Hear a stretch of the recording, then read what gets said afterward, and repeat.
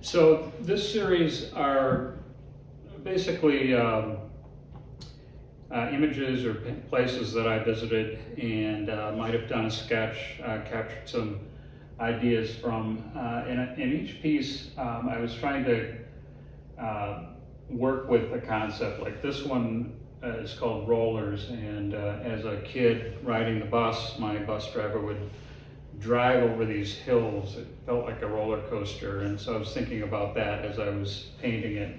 And often we call large clouds like that rollers, so it kind of had two different meanings for me. Um, this one is Hill and Farm and Hillside, and it's a, it's a little area in Wisconsin where there's a farm just tucked up against the bluffs.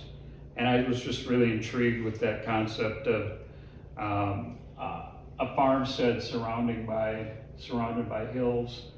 This this uh, farm is is called Farm Farm Farm on Ridgetop, I think, and it's it's actually close to where I live. And I often drive up there when there's a big storm because I can see out over the St. Croix Valley, and this farm is teetering right on the top of that ridge. So it's very dramatic, and uh, this piece came from a trip like that.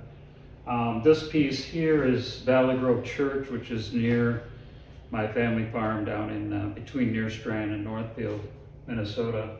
And it's a farm uh, or a church that my family was involved with um, saving and placing on the National Historic Registry. So it's called Valley Grove Church.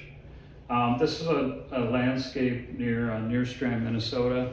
Just a very simple um, composition with a strip of oats and corn, and it's actually the sketch, the original sketch for the larger piece we talked about earlier.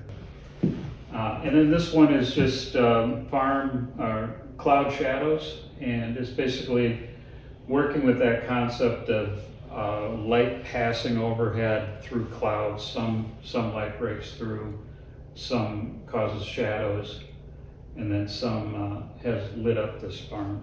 So that's the kind of thing that I work with.